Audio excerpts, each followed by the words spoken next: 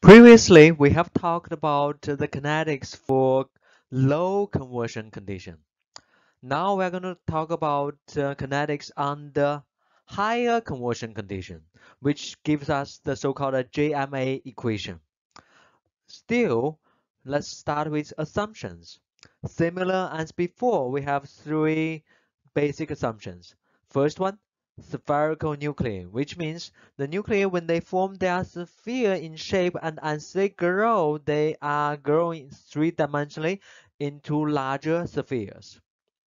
Second one, the beta precipitate nucleation rate is constant of n. A constant nucleation rate means per unit time per unit volume a fixed number of new nuclei that are formed and that number is n. A third assumption is the growth rate of those spherical nuclei is constant. Specifically, the radius grows linearly with respect to time, or dr over dt is a constant of v. Okay, so these three assumptions are same as what we dealt with before for the low conversion case. However, to deal with higher conversion, we have to consider, read to yourself, overlapping in random nucleation.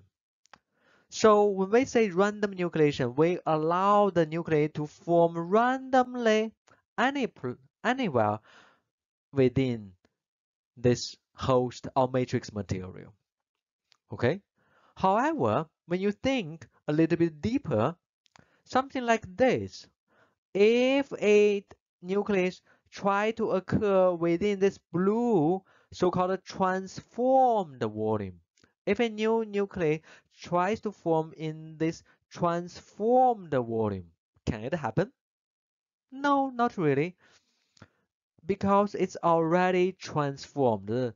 It's already changed from the matrix phase to the precipitated phase. As a result, naturally, it cannot happen. But in our previous treatment for low conversion, we didn't consider it, we neglected. But now when we deal with higher conversion, if we allow for random nucleation, then mathematically, random, it may occur here, but in reality, it cannot occur. So these types of nuclei, we would call them phantom nuclei phantom nuclei, which means the those nuclei that try to form within transformed volume. It's not real. It, we give it a name called uh, phantom nucleation. With that in mind, let's define F as a volume fraction of real precipitate. F as volume fraction of real precipitate, which is just the ratio between the total volume for transformed volume divided by the total initial volume F that gives us the F. And then the number of real beta precipitate.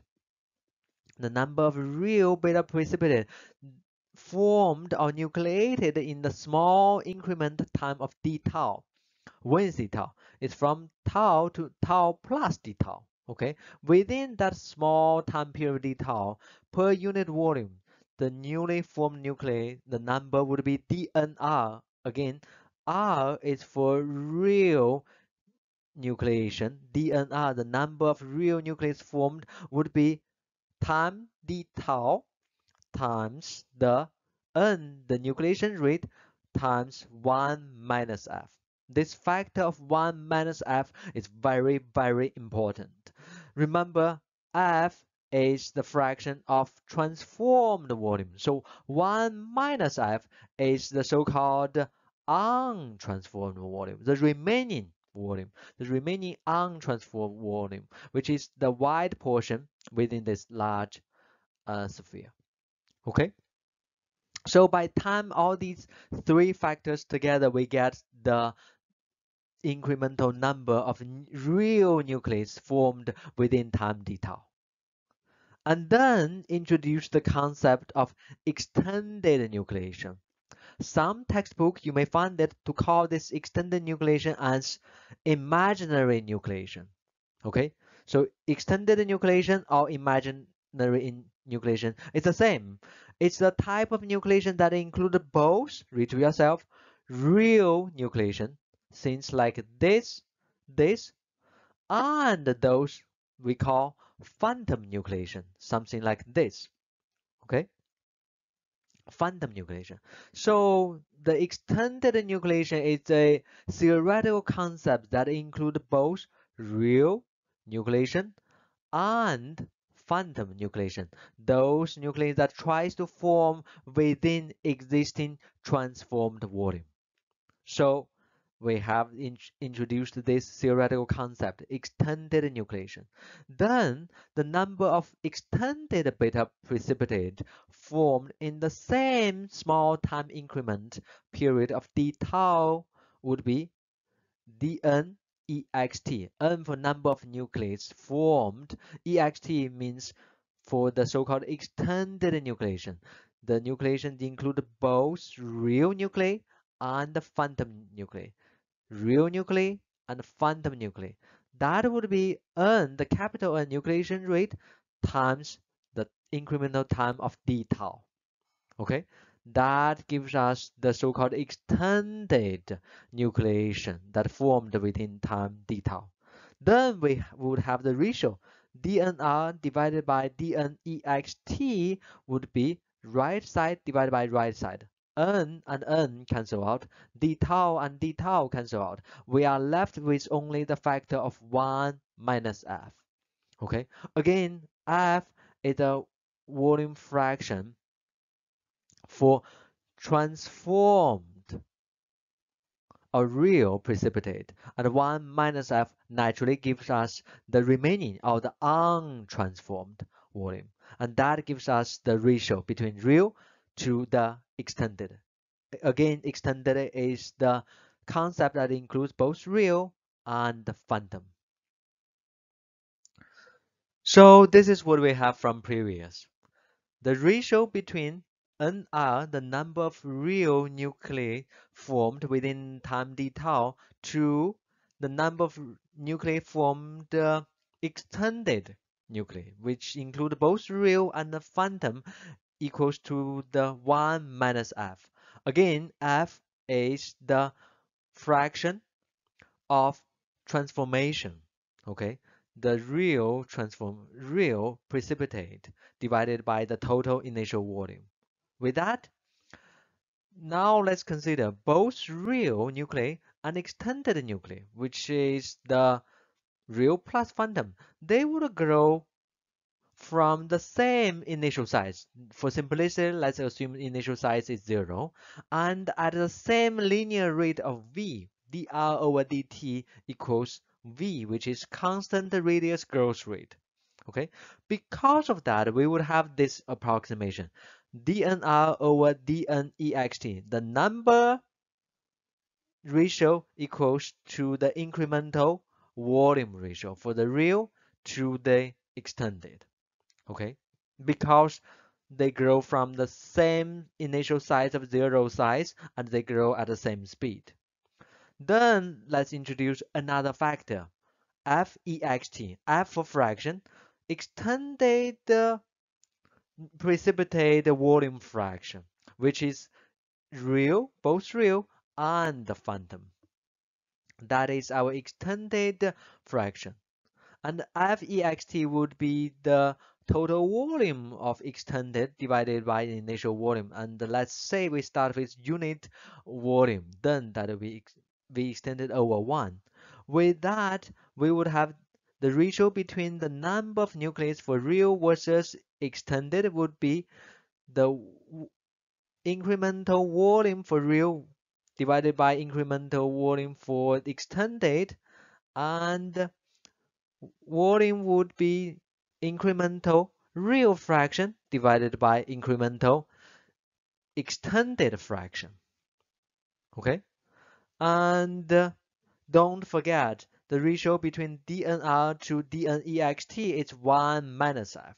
So we would have df over dfext equals 1 minus f.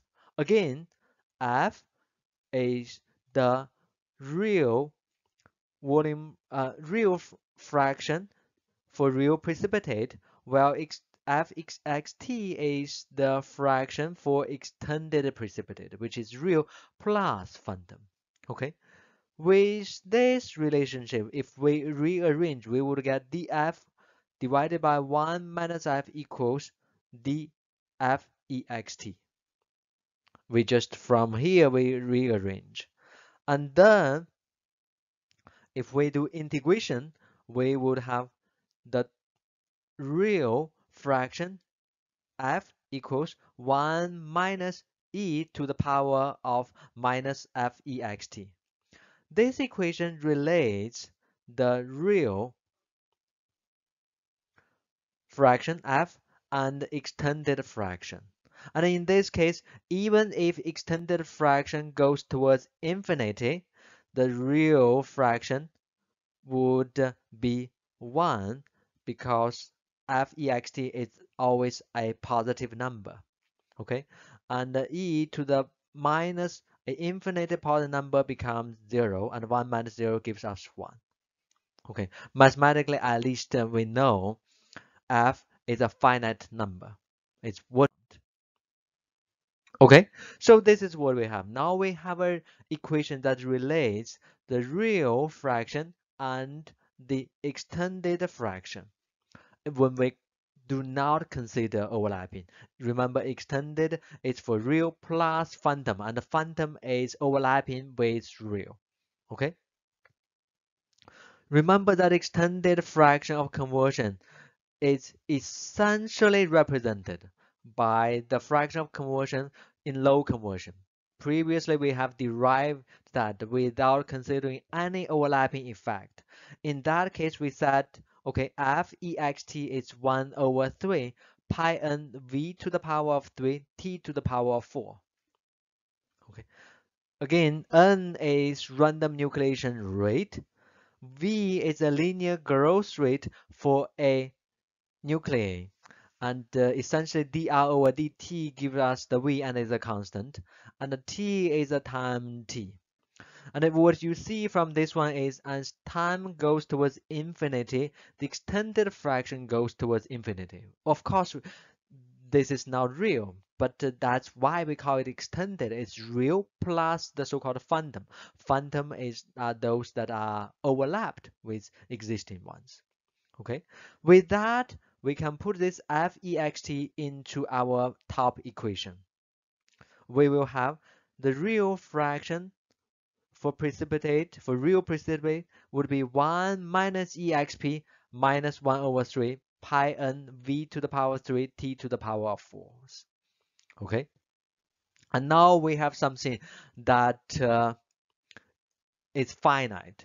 From this equation, when t goes towards positive infinity, which means the time gets longer and longer towards infinity, this within the bracket we are going towards minus infinity. And uh, exponential of minus infinity is 0 if you remember.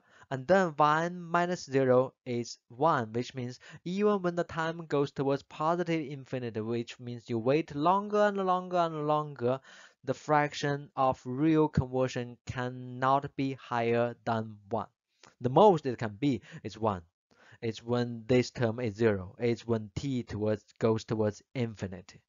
Okay. This equation is the famous JMA equation, also called Johnson-Mehl-Avrami equation, that relates the transformation time and the real fraction. This already have taken care of the overlapping case, and it turns goes towards a finite number. Okay? Very important equation. After we taken we have taken care of the overlapping situation the phantom situation a nucleus try to form within a existing transformed volume. Okay? So in general this equation can be written as something in a similar fashion. F the real fractional conversion is 1 minus exp instead of this equation we have minus k t to the power of n. The n factor typically is in the range from 1 to 4 typically in the range of 1 to 4 and we will talk about that in greater detail later. Okay? The exponent factor we're going to talk briefly here is that the, the exponent factor n depends on read to yourself geometry of the nuclei or precipitate. Whether it's sphere shaped or it's a 2d very uh, thin plate shaped or it's in one dimensional and needle shaped. That would influence the n exponent in addition, the mechanism of the phase transformation also impacts the n factor. For example, when does the nucleation happen? Whether it's all happening at the beginning or it's gradually. Or whether it's so-called diffusion control. The, the transformation is slow, controlled by the mass transport due to solid state diffusion, or it's limited by the interface rearrangement right between the precipitated phase and the matrix phase. All these factors would impact the exponent n factor. And we will talk about uh, these using a few examples briefly uh, in later slides. Okay?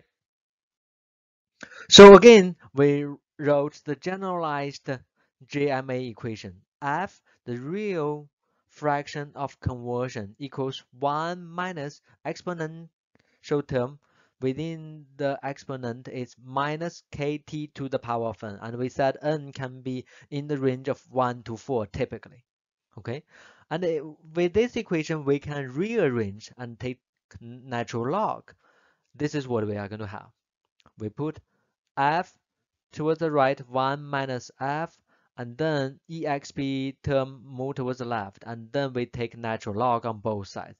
This is what we are going to have okay minus natural log of 1 minus f equals kt to the power of n n has the same meaning and uh, we can take natural log again because on the right side kt to the power of n is always um positive. At the same time, f is always smaller than 1, so one, but greater than 0. So 1 minus this f is always a small number from 0 to 1 and the natural log of that number is always negative number but then we have another negative sign then the left side is also always positive. So as a result we can take natural log again.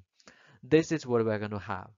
Left side is natural log of minus natural log bracket 1 minus f. The right side you separate natural log of k plus n exponent factor you put it in front of the natural log of time factor. This is a another form to write the JMA equation. Okay, another form in natural log format of the same JMA equation. Now let's take a look at an example of so-called conversion time or CT curve. In this curve, of course, the vertical axis is the extent of conversion or fraction of conversion. And the horizontal axis would be time, quite often given in log scale. Previously, we mentioned it's going from extent of conversion from 0 to 1 or from 0% to 100%. And then different temperature we would have different uh, curves. Okay, when the time is short, the extent of conversion is low, and for a given temperature, the longer the time, the higher the extent of conversion. And when time goes towards infinity, the extent of conversion goes towards a hundred. So this is what we have. Okay, and with the data from f, which is the vertical axis, and the t horizontal axis, we can plug those numbers into this equation and fit to get the factor of n and the log, natural log. How do you do that? So here we plot the same thing, natural log of, we put the minus sign inside the natural log, which is natural log of 1 divided by natural log 1 over f, 1 minus f. That's our vertical axis. Horizontal axis is natural log of time. if we are going to do this type plotting for these of curves, each of the curve would give us what type of line? This versus natural log of t, because for each direction n is quite often a constant. As a result, we would get a straight line. A straight line. When you plot left side versus natural log of t, you would get a straight line, and the slope would be n. The slope for this curve would be n. And similarly, you can do the same thing for a different temperature. If for precipitation, quite often a lower temperature, okay, you get the, the plots at T2. Also a straight line because they share the same n and the slope would give us the factor of n and then the intercept would give us the natural log of k2 okay? So these are the two kinetic plots that we got from the conversion time plots from the CT plot. We get a series of straight lines and as we mentioned the slope of these straight lines these parallel straight lines give us the n factor. So which means if you can get kinetic fraction versus time conversion versus time curve at different temperature by reprocessing the data, the slope of these curves would give you the exponent factor that tells you something fundamental about the reactions um, geometry and the fundamental mechanism. While the slope of well, the intercept of these straight lines with the vertical axis would give us the case when natural log of t is 0. That intercept give us the natural log of k1 and k2 for different temperature. And with the k1 and k2 in principle, we can get so-called reaction activation energy, which we will talk about briefly later. Okay?